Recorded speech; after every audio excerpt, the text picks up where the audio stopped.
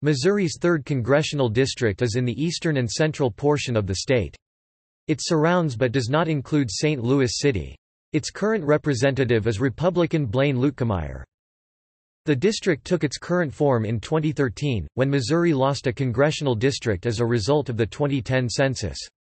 At that time, much of the northern portion of the old 9th District was added to the 6th District, while most of the remaining territory became the new 3rd District. From 1953 to 2013, the 3rd had been located in the southern portion of the St. Louis area, including the southern third of St. Louis City, and had a dramatically different political history from the current 3rd. Its best-known congressman was Dick Gephardt, who represented the district for over 20 years before his retirement.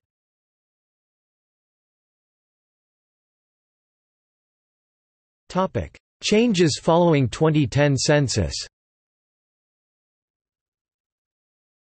Following dramatic drop in population of St. Louis in the 2010 United States Census, Missouri lost a congressional seat effective in 2013.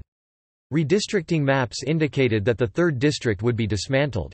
The Three Roads home base in St. Louis would be absorbed by Missouri's 1st Congressional District. Much of the district outside the St. Louis area would be drawn into the 8th district. Meanwhile, the new 3rd included most of the territory currently in the 9th district, which was dissolved. List of representatives.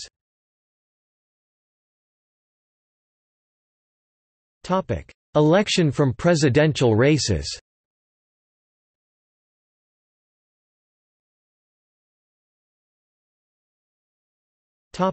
Historical district boundaries.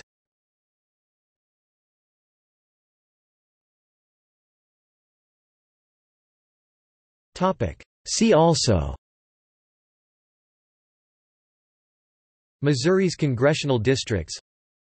List of United States congressional districts